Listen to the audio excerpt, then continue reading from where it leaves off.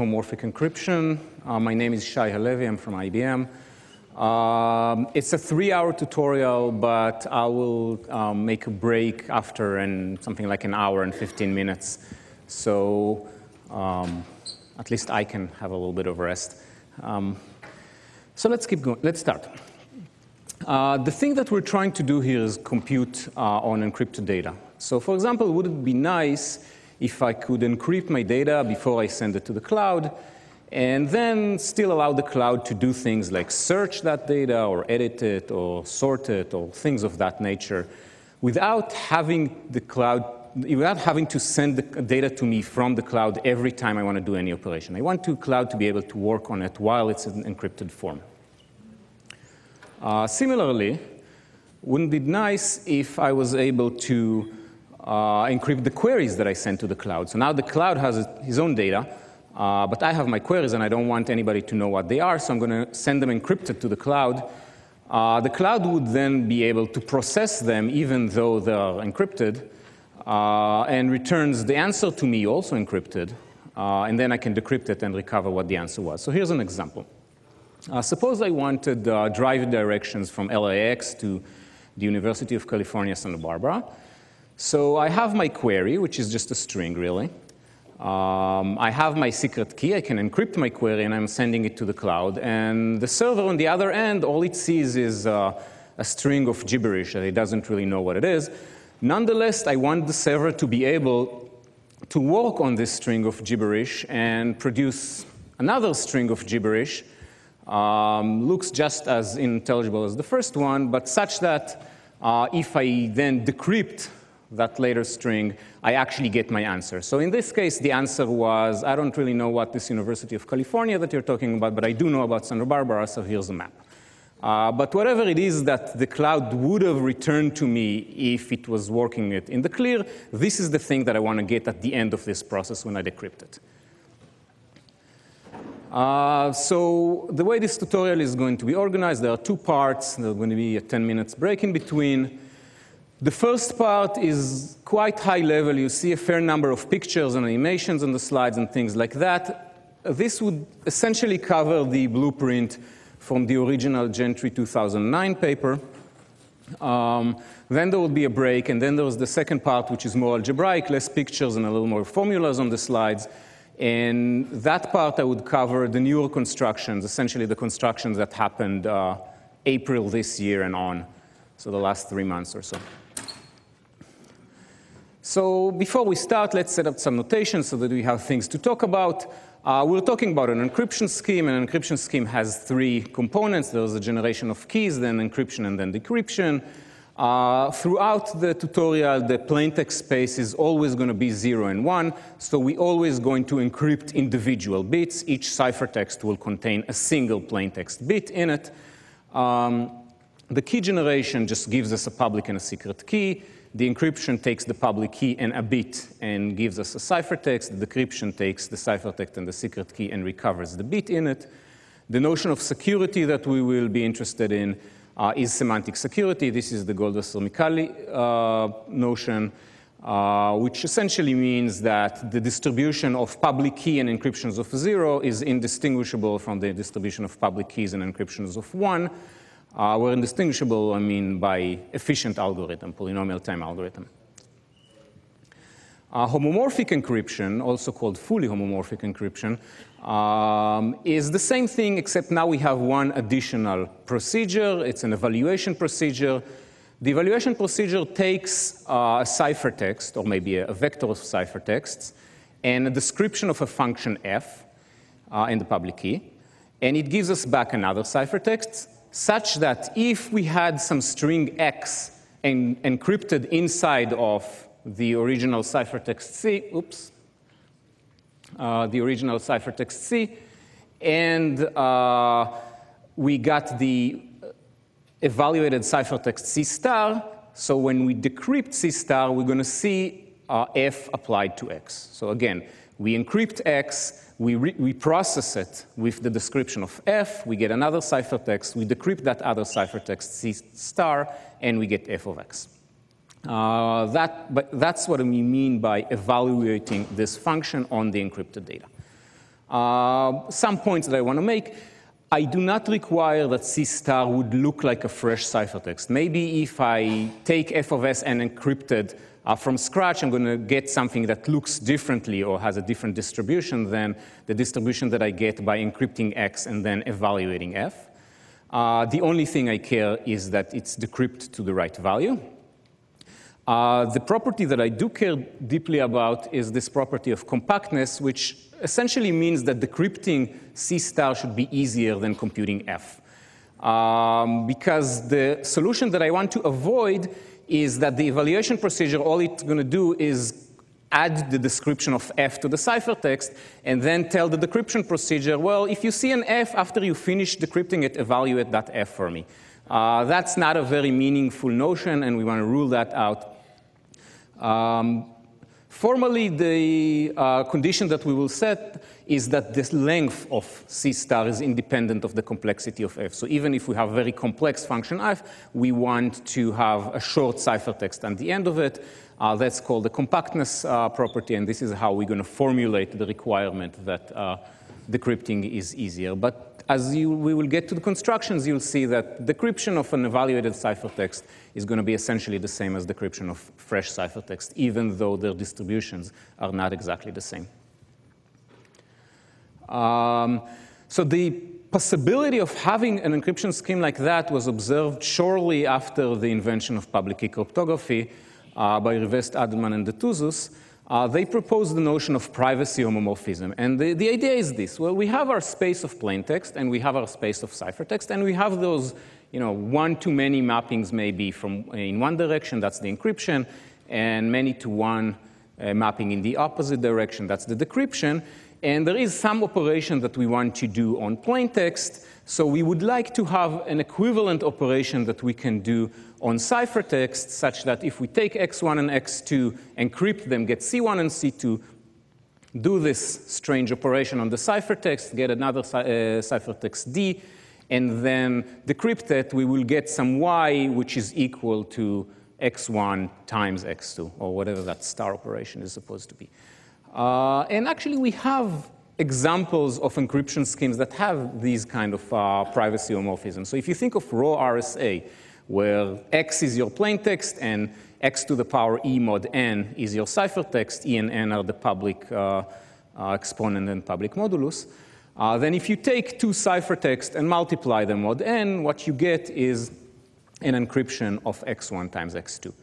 Uh, similarly, in the Goldwasser-Micali uh, uh, quadratic residuosity encryption scheme, if you take an encryption of B1 and an encryption of B2 and multiply them mod n, what you get is an encryption of the exclusive OR of B1 and B2. So we have a few examples of those, and actually we have more. Uh, for example, El Gamal is homomorphic with respect to multiplication mod P. The Paillier cryptosystem is homomorphic with respect to addition mod N.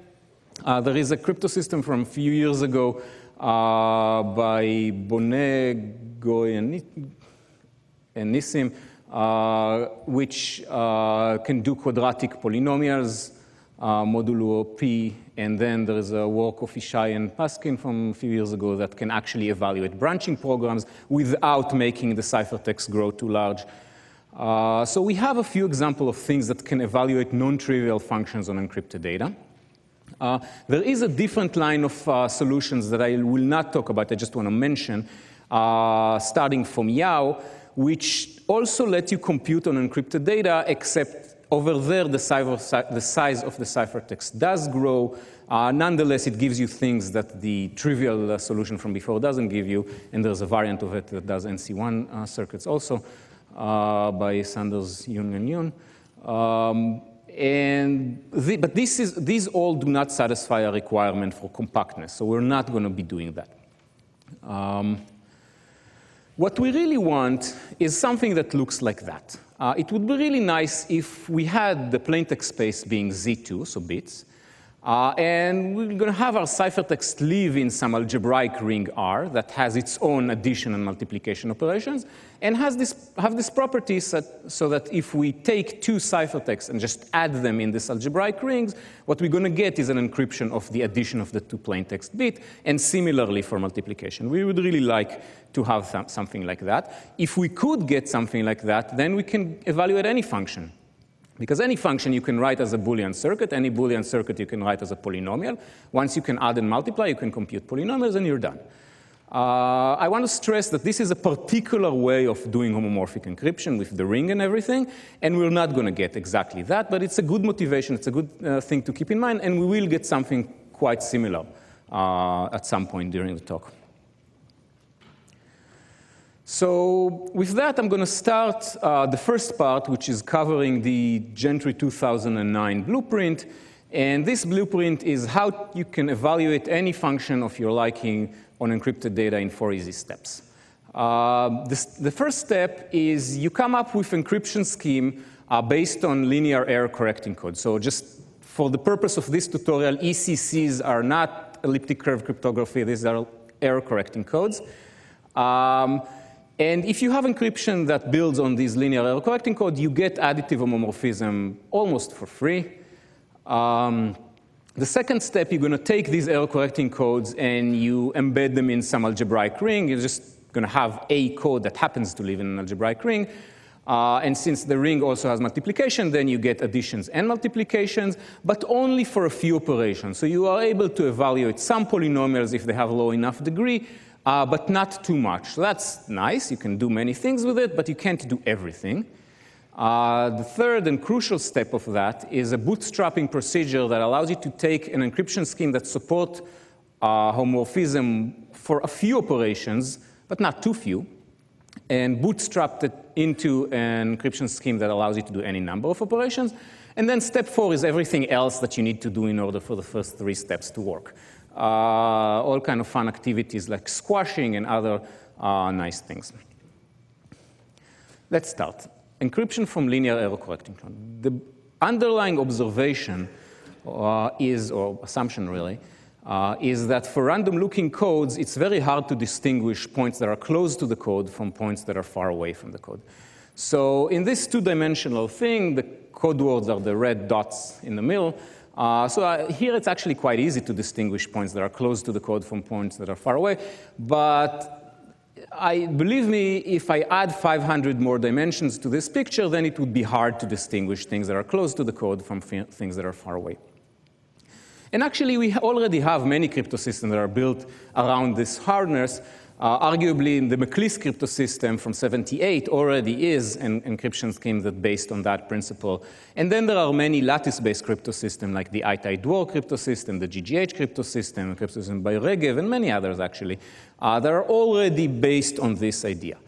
Um, how do you use it for uh, encryption? So here is how you use it for encryption.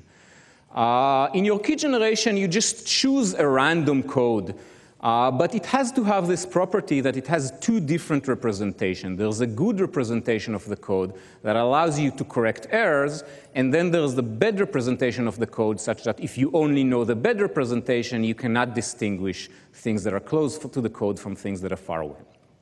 Um, and then encryption of zero will just be a point close to the code, and encryption of one would be a random point in your domain, which with high probability would be far away from the code. Uh, and if you know the good representation, if you have the secret key, then you can take the ciphertext, try to correct errors, and if you succeed, then you see if it's close to the code word or not. If you fail, then you know that it was far away from the code. Um, so that gives you a way to, if you know the secret key, you can distinguish uh, zeros, encryptions of zero from encryption of one, and if you don't know the secret key, you cannot by our assumption that it's hard. Uh, here's an example. Think of the integers mod p. So this is a code in R or in Z in the, the uh, over the integers. Uh, the code is determined by a secret integer p, and the code words are all the multiples of p. Uh, and the good representation of the code is p itself. So it's a code, it's an additive code. If you take two multiples of p and add them, you get another multiple of p. Um, and clearly, if you know p and you're given some number x, you can tell whether x is really, really close to a multiple of p or not. And think of really, really close at this point as being, I don't know, within square root of p uh, of a multiple of p. We're actually going to use things that are even closer, but never mind that. Uh, the better representation in our case can be, for example, uh, I'm giving you one multiple of p, n which is equals to p times q, and many other near multiples of p. So I have this one exact multiple of p, and then I have all the others that I pick from this green intervals. So I'm, I'm going to give you many, many of those. Um, and then if you want to encrypt a zero, uh, zero, then you want to come up with a word that is close to the code, what you can do is take a subset sum uh, of these xi modulo n, and you can add a little bit of extra noise to it. So if you think about all of these uh, operations as happening mod p, uh, you will see that what you get is something where you just add all the, uh, all the little distances in the xi's and then the actual, the, the little bit of extra noise that you chosen. And if adding all of these little bit of uh, things does, still keeps you fairly close to a multiple of p, then you're fine. This is a word close to uh, an integer close to a multiple of p. And for encryption of one, you're just going to choose a random integer mod n, which with high probability will not be that close to a multiple of p. Uh, actually, for us, it would be uh, better to have a different way to encode your plaintext inside the ciphertext, encode your input. And actually, we're going to choose both encryptions of zero and encryption of one as uh, think, well, integers close to the code, uh, integers close to multiples of p, except the distance from our ciphertext to the nearest uh, multiple of p would be either even or odd, and this is how we're going to encode our, our plaintext. So the plaintext is always encoded in the noise. So if you think of error correcting code, then you may need to shift your thinking a little bit. We do not encode things in the code world. We encode things in the distance to the code, in the noise, actually. Um, security of this thing is completely equivalent to security of the previous version that I described on the previous slide, as long as p is odd, and that's easy to see. And I'm going to show something similar um, sometime in the, the second half of the talk. I'm not going to try to prove this. Um, so but just let look at the example of integers mod p. Uh, so encryption of a bit b uh, in this case would be you take a subset sum of the xi's and add your noise. That gives you a point close to the code. You multiply it by 2. That gives you an integer close to the code. But now the distance of the from the code is guaranteed to be uh, even. And then you add your bit. So if your bit was a zero, then you have an even distance to the code. If your bit was one, and you had odd distance to the code. Um, and this thing uh, that you set the parameters so that that thing, the noise, uh, is still much, much smaller than p over 2. Uh, decryption in this case would be just uh, you take c mod p, that gives you the distance between c and the nearest multiple of p. And by c mod p, I actually mean taking it modulo into the symmetric interval between minus q over 2 and plus q over 2. Uh, and then you take that integer and reduce it mod 2. You just look at the least significant bit. That's your decryption. Um, this is an instance of, of the uh, uh, encryption from linear error correction code. So why is this uh, additively homomorphic? Well, the reason it's additively homomorphic is because the code is linear, and when you add code words, you get another code word. So take two ciphertexts and add them. That means adding the code words and adding the noises. Adding the code words give you just another code word.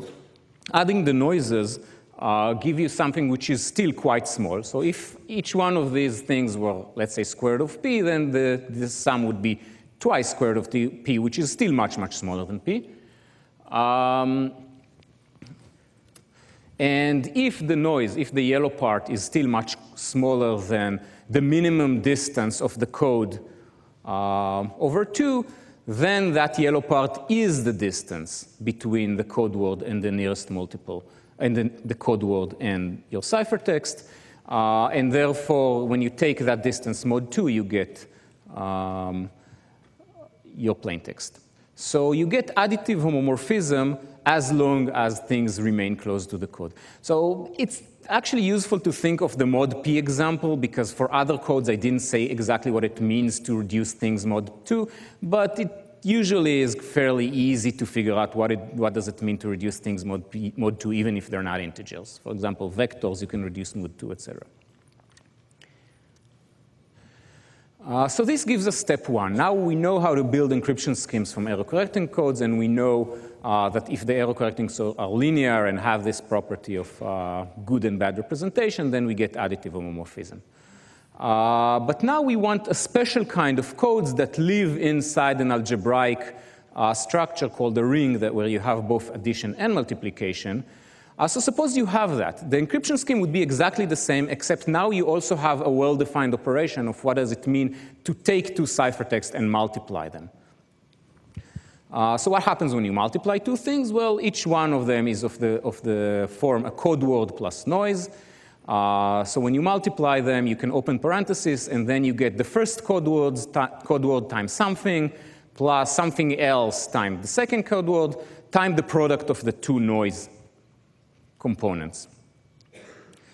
Now, if it so happen that a code word times something and a something times code word is also in the code, this is something that you would expect if this was a linear error correcting code, because when you add uh, code words, you get another code word. But here you have, you're talking about a different operation. This is multiplication inside the ring, whatever that means. So we want to make sure that this is still in the code word, and for that to happen, the code has to be an ideal in that ring.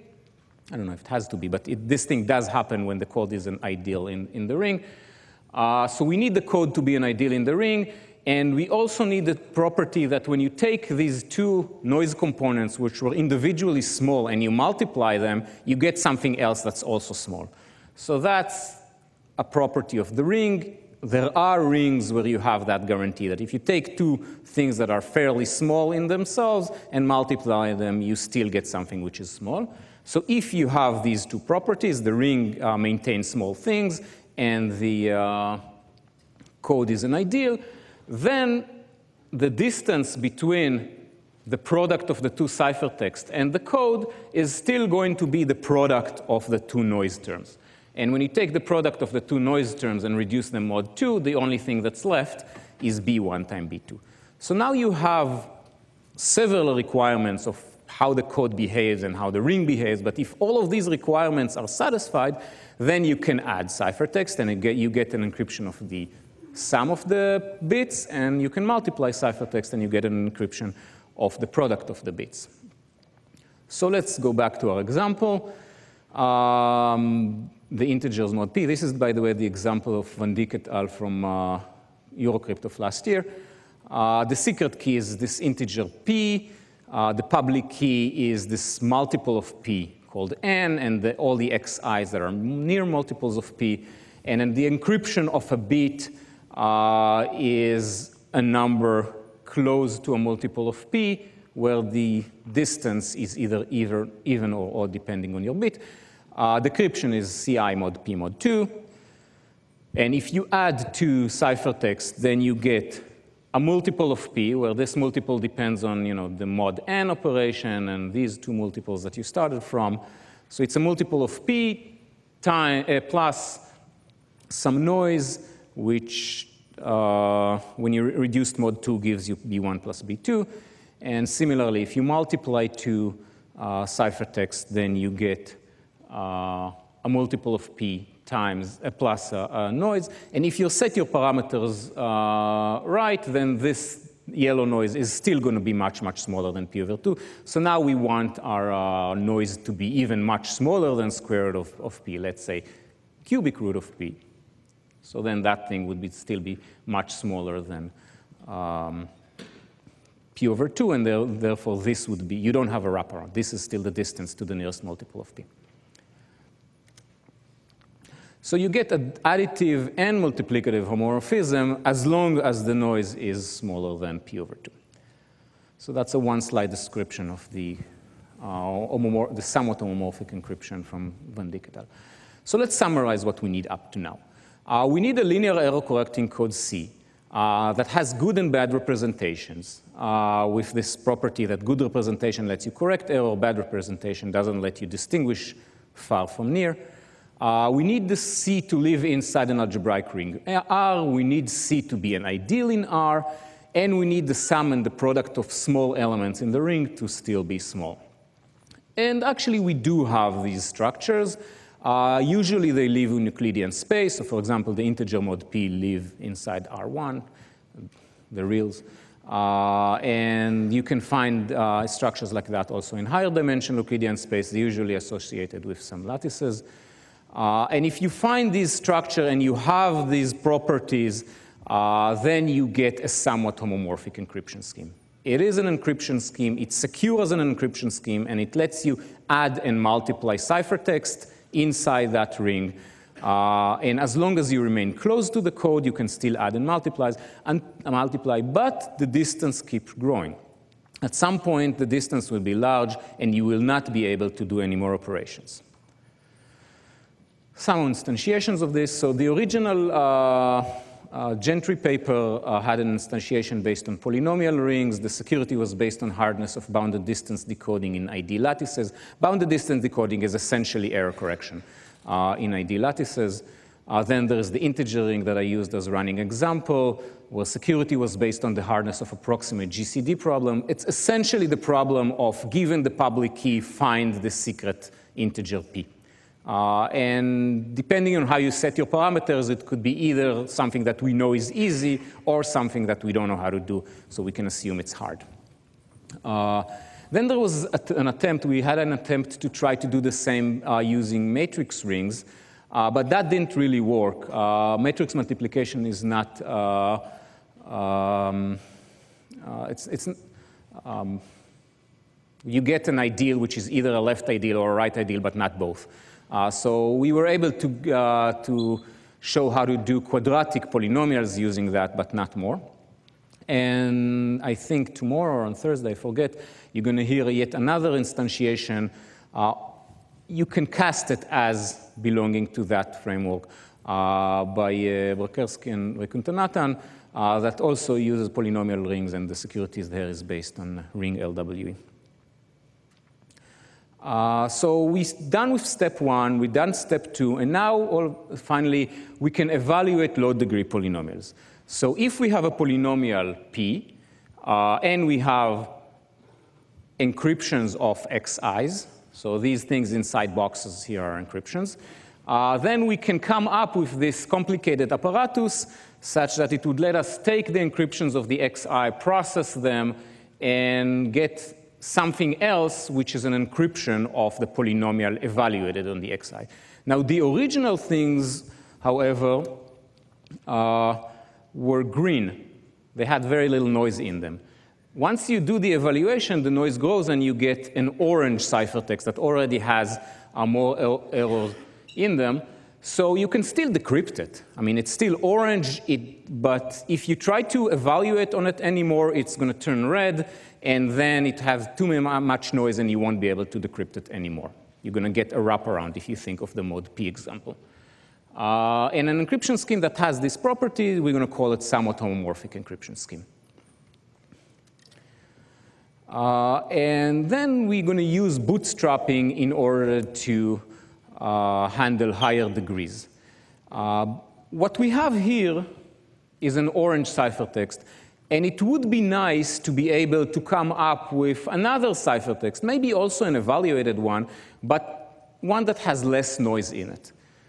If we somehow were able to take that en encryption of y and come up with a different encryption of the same y that has less noise in it, that would be nice, because then we can do a little bit more work on this yellow y until it turns orange, and then apply our noise reduction again. So this is what we may want to do. Uh, and you're going to use bootstrapping in order to do that. So think of a one fixed ciphertext C for, for now. Think of it as, as an orange ciphertext. Uh, and consider the following function. It's a function that has this ciphertext hardwired in. Uh, and what it does is it takes its input, its argument, think of it as a secret key, and try to use that secret key in order to decrypt this fixed ciphertext, okay? So our input now is an alleged secret key. C is just hardwired inside the function. So the first thing I want to say about this uh, function uh, that is well-defined.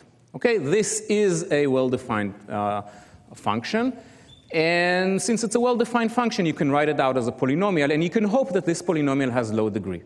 So let's keep with the hope for now.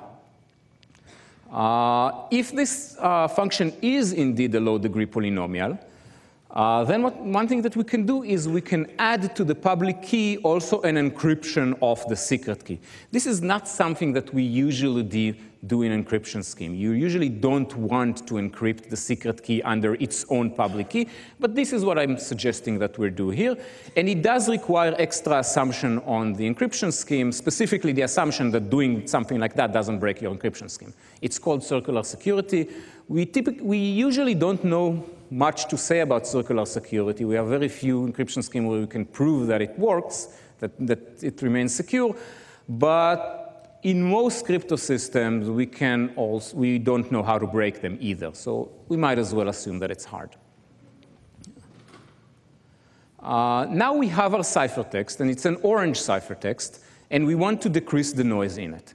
So what we're going to do is we're going to look at this as our fixed C, and write the description of the function d sub c as a polynomial. Uh, now that we have a polynomial, we can build this apparatus for it, and we have the encryption of the secret key bit, so we're just going to pass them through this apparatus and evaluate the function d sub c on the encryption of the secret key. What we get is an encryption of what you would get uh, uh, by d sub c of secret key, which is just the decryption of your original ciphertext.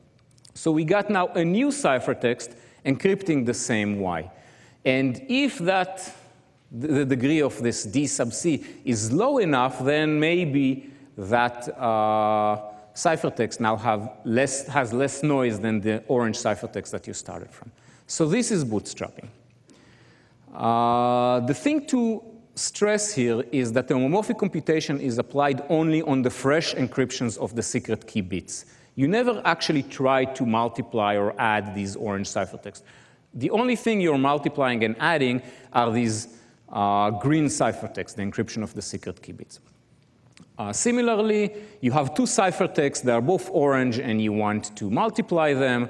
Uh, so define the function m sub c1, c2 uh, that has c1 and c2 hardwired in. It takes as input an alleged secret key, try to use it to decrypt C1, try to use it to decrypt C2, and then multiply the results. Okay? Again, a well-defined function. We can write it as a polynomial. Um, we can come up with this apparatus for the polynomial. Uh, we'll take the uh, secret key bits, we pass it through that polynomial.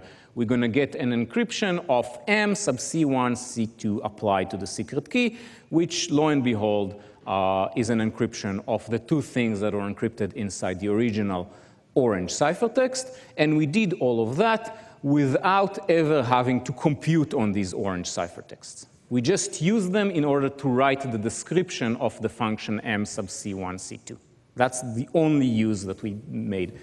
Uh, so this is the bootstrapping uh, uh, transformation, uh, probably the single most beautiful thing that I would cover in, in this tutorial. So uh, before I go on, I'll, I'll, pause for a second, read the slide again, and then I'll, I'll, I'll do it again. So we have two orange ciphertext. Oh, pause. Yeah. we, we have two orange ciphertexts uh, encrypting Y1 and Y2. We're not multiplying them. We take them, we use them to define the function m sub c1 and c2. We build this machinery that can evaluate m sub c1, c2 uh, on encryptions we apply that to the secret key bits that we have in our public key, the encrypted secret key bits that we have in the public key. We get out a new ciphertext that encrypts M sub C1, C2 applied to the secret key. And by definition, M sub C1, C2 applied to the secret key is the product of the two uh, things that were hidden inside our original ciphertexts. And we did all of that without ever processing the orange ciphertext.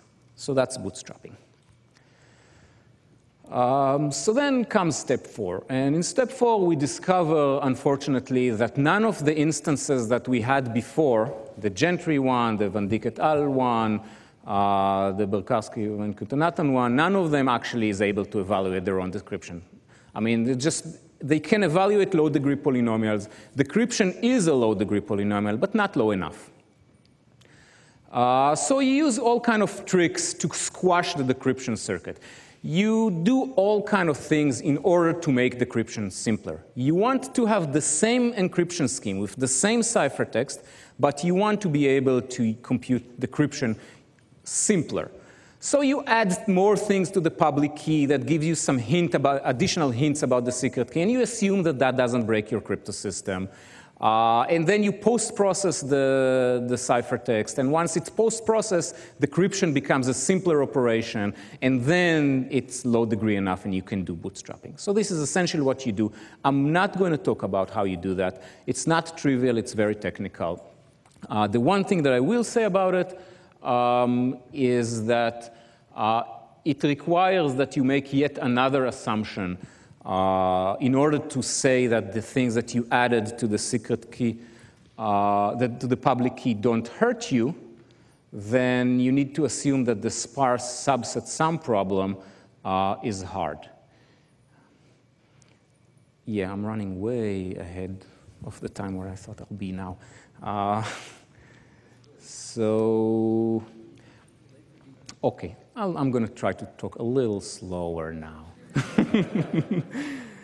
Let's talk about performance a little bit. Um, so the underlying somewhat homomorphic encryption um, may be reasonable in terms of performance. I mean, depending on what you want to do, for several applications, uh, it takes you something like maybe a second to 10 seconds to do a single multiplication. Uh, that, could be, that could be a reasonable price to pay, depending on what you're trying to do. So if all you wanted is to evaluate uh, low degree polynomials, then you can use the somewhat homomorphic encryption as is, and you may get reasonable performance. Bootstrapping, however, uh, there's something inherently slow about bootstrapping. Why? Every time you want to do a single operation, you have now these orange ciphertext. You want to do a single operation, the entire decryption procedure on encrypted data. Um, now, because of all kind of reasons, the decryption cannot ever be very, very uh, uh, fast. So the minimum thing that you can uh, expect to do, at least using the techniques uh, that we knew up to a few months ago, uh, is uh, gives you overhead of something like security parameter to the power 3.5 and then some polylog factors after that. Um, and if you want to know practical terms, then the best implementation, as far as I know, is the implementation of Craig on, on mine that we reported in Eurocrypt this year, uh, where we took a variant of the original Gentry crypto system and, implemented it. The public key size is, is, roughly two gigabytes, so it does fit on a one DVD, typically, maybe. Um, and bootstrapping takes you somewhere between three and 30 minutes on a fairly strong machine. Uh, so, you know, it is implementable, which was sort of a surprise to us when we got there, but it's not something that you can actually use. It's very hard to think of an application that can wait half an hour to evaluate a single gate. Um, there are similar performance also in a paper that uh, you'll see, again, I don't remember if it's tomorrow or, or Thursday, um, by Coron et al. Uh, they were implementing the uh, scheme from Van Dijk et al. from Eurocrypt of last year, but it may be that their parameter choice was a little too aggressive. So there is a new thing uh, that claims that their parameters are not conservative enough, and if they need to uh, uh, ramp up their parameters, then their times would be even worse than this half an hour. Um, so with that, I'm actually done covering the uh, Gentry blueprint. I thought that would take an hour, but it took only 40 minutes. So what I'm going to do is I'm going to do one more slide, then take the break, and then do the rest. Um, so here's one thing that I want to talk. I'm just going to spend one slide talking about it. Um, chimeric homomorphic encryption. This is uh, um, new work with Craig, where essentially what we, we still want to do bootstrapping and everything, but we don't like the subset sum uh, assumption, and we want to know whether we can do without it. Uh, and the way we handle it is we take a hybrid of a somewhat homomorphic encryption and a multiplicative homomorphic encryption. Well, multiplicative homomorphic encryption is something like El-Gamal, where you can multiply ciphertext as much as you want, but you can't add them. Um, Chimera, by the way, is a mythological creature uh, made up of parts of different animals, and that cryptosystem sort of looks similar because you take your somewhat and you stack on its back uh, this multiplicative uh, scheme. Uh, the high, very high level idea for this uh, uh, encryption scheme is you express decryption as a restricted arithmetic circuit. It's an arithmetic circuit with high fan-in that has a, low, uh, a lower, a bottom level of addition gates, then a level of multiplication gates, and then one addition gate at the top. Um, and it's restricted in the sense that uh, for our uh, purposes, um, what we want to do is to use the multiplicative homomorphic encryption to evaluate the middle layer. Uh, to, in order to do that, we need to have El-Gamal ciphertext that encrypt the things that need to go on these wires. And the circuit is built in a particular way so that we can pre-process all of that. We can put a whole bunch of ciphertext in the public key, El-Gamal ciphertext in the public key, and then depending on the thing that we try to bootstrap, depending on our orange ciphertext, we choose which of them we want to put on these wires. And that's it. So that lets us do uh, um, switch to El-Gamal encryption temporarily, do the multiplication. Now it's not a low degree anymore. It's a fairly high degree, but El-Gamal doesn't care. It can just multiply as much as you want. Um, and then here we need to switch back to the additive homomorphism. And for that, we use a bootstrapping-like approach. We're going to evaluate the El-Gamal decryption homomorphically. The difference is now the somewhat homomorphic encryption needs to evaluate Elgamal decryption and not its own decryption. So the thing that you can do is start with whatever security you want, parameter that you want for El-Gamal, and then make the parameters for your somewhat homomorphic encryption large enough to evaluate that. So that um, saves you from the circularity of the, of the encryption having to evaluate its own decryption, which is why you can get away without squashing and without the sparse subset sum. I know that that's not a very, very descriptive thing, but there is a paper on ePrint that you can read if you're interested. And I don't want to go into details on that because I want to go into many more details on other schemes. Uh, so with that, I'm actually going to take an early break. So we'll come back here at 3, and then I'll do the other part, which will not take two hours, I really hope.